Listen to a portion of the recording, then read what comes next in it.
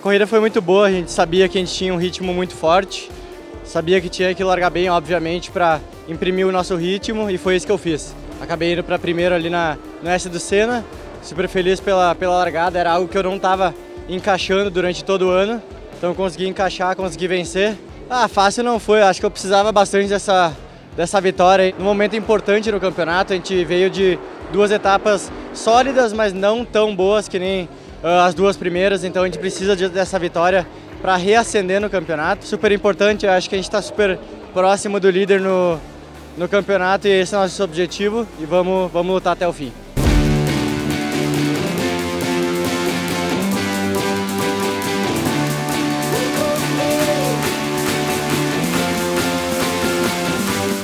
A ah, fim de semana muito mais especial, a gente sabia do potencial de todo o carro, sabia desde a classificação que a gente era muito rápido, a gente, que nem eu comentei ontem, a gente acabou tendo uma quebra, mas ontem o ritmo era muito bom e sabia que o ritmo era, ia ser muito forte hoje também. Só que com a inversão do grid eu não sabia se ia dar para chegar lá na frente, consegui fazer uma boa largada, fui passando um por um, o ritmo era muito forte, então super feliz pela, por toda a equipe, então muito feliz pela vitória uh, de hoje e de ontem.